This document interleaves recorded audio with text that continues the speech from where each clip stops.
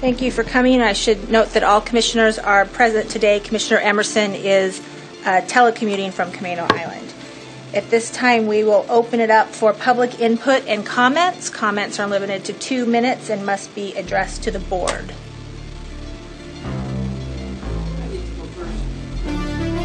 Mr. Kunzler.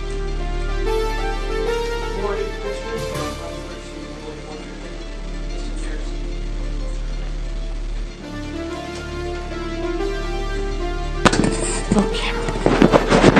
Thank you. Joe Kunzler here. Uh, I'm your senior ruling supporter of Outlying Field Coupeville, about to head out and watch the flight operations.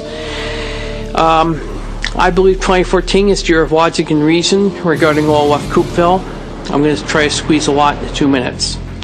I'm happy the noise disclosure issue seems to be repaired going forward. Uh, I do hope those that feel harmed in the past uh, get their court date for compensation, either in eminent domain or voucher leave.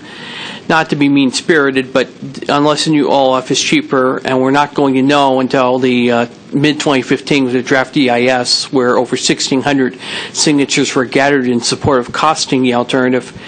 Um, you know, we're we're just not going to know.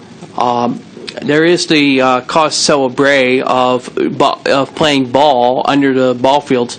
I don't want to stick my nose to Island County business as a Scatonian, but I hope this is resolved before ball season because it is a concern to a lot of my Central Whidbey contacts and and the like. Um, as far as the concrete blocks, uh, the Navy has basic safety concerns, and that's why the blocks are up there. Um, they're needed to stop runaway automobiles and runaway E EA-18Gs from invading each other's space. So obviously, I support the barriers. Uh, in fact, a civil engineer submitted in the zip code forum, uh, the forum on outlying for Coupeville in, in early summer, that uh, his submission included a mention we needed a concrete barrier.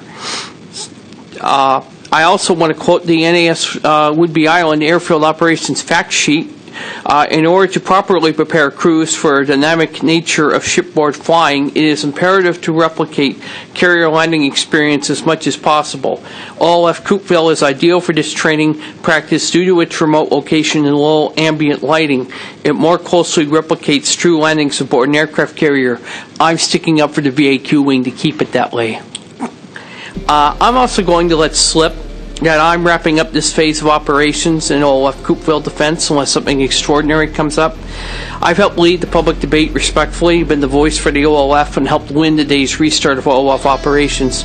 Also, the EIS process until mid 2015 is in the hands of the Navy. Um, so I intend to be more logical, less reactionary, and like a Marine, advance in a different direction towards the same destination of a five-star OLF for OLF, uh, of an OLF for our VAQ Wing. Thank you for the air show box. Bravo Zulu. Thank you. Thank you, Mr. Kunzler. Yeah.